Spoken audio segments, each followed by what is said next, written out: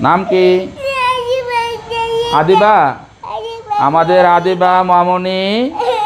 এই যে নাকের ভিতরে তার একটি গোটা হয়েছে।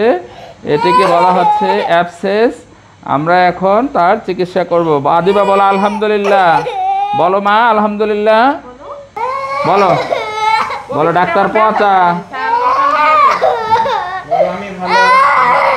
ডাক্তার আঙ্কেল পচা।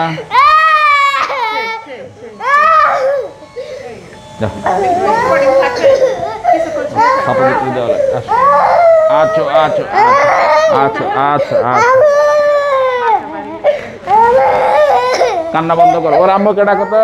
ওর আম্মুকে ডাকো। ওর আম্মুকে ডাকো। এই, আম্মু কই? আম্মু কই আম্মু কই? এই যে আম্মুর কাছে যাবে, কি নাম ওর? আরিবা? আরিবা না আদিবা? আরিবা।